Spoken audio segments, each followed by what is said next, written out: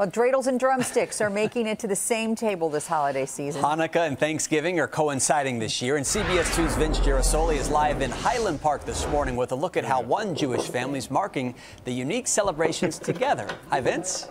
All right, we're playing with dreidels, which is a typical uh, celebration thing to do for Hanukkah. There's a song that goes with the spinning dreidel, right? Everybody, we're going to sing it for you. Go. Dreidel, dreidel, dreidel, I made it out of clay.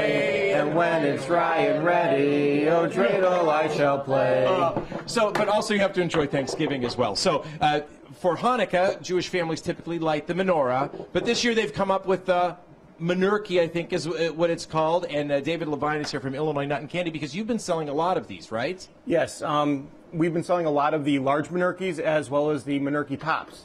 And really, one of your customers came up with the idea, a young young fellow last year, right? Actually, a kid on the East Coast named Asher Weintraub came up with the idea. My wife heard about it. We created the Menurkeys. We've been selling a lot of them in the store, in addition to the dreidels and the chocolate turkey puzzles. Um, Did you ever think this would really become something that folks would be demanding for this Thanksgiving?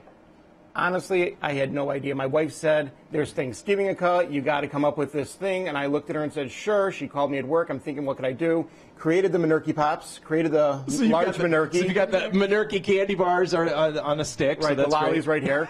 And I was thinking myself, Is this really going to take off? I had no idea. We made a lot of them. And then we got very fortunate. We've got some great press out of it. It took off, went viral on Facebook. It went with Patch and all the other different. Uh, different media outlets out there. So another way to celebrate that. the season. But but I just have to ask: Would you rather light the candle or be able to eat the menurkey?